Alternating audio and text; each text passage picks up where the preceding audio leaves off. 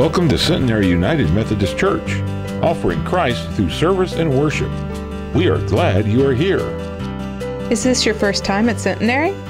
Fill out one of these green cards and put it in the offering plate so we can welcome you. Please sign in and let us know you're here. And sign up for an electronic newsletter by adding your email on the attendance pad. Have you tried out online giving yet?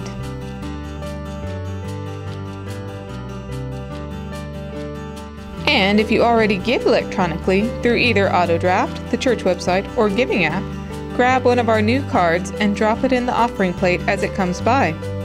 Have you seen our information wall? Stop by after service to see what's coming up at Centenary. The next Centenary 101 class is coming in November. Hello, Centenary. As I tape this announcement, it's 90 degrees outside. Nevertheless, the holidays will soon be here, and that means that our benefit luncheon for the Lawton Food Bank will soon be here. The luncheon this year is going to be December the 16th. I'm once again looking for volunteers to help with preparation on the 15th, serving dinner on the 16th, buying tickets, selling tickets, and several other positions. Um, I will have forms to fill out for volunteers um, in, in church this Sunday.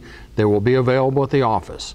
If you're willing to help, please fill out a form. And once again, I appreciate your help, as does the Lawton Food Bank. Thank you. Centenary is joining with First Christian Church for another year of Trunk or Treat. We always have a lot of fun. A lot of kids come through and we hand out a whole lot of candy. Candy donations are always welcome. Hello, Centenary family. I have a great opportunity for you. On October 25th, Sunday, we are going to be participating in a citywide United Methodist project, and it's going to happen right here at Centenary. We are going to meet right after church, just plan to stick around, and we'll be serving a quick lunch, and then we're going to be working on some projects together with the other Lawton United Methodist churches.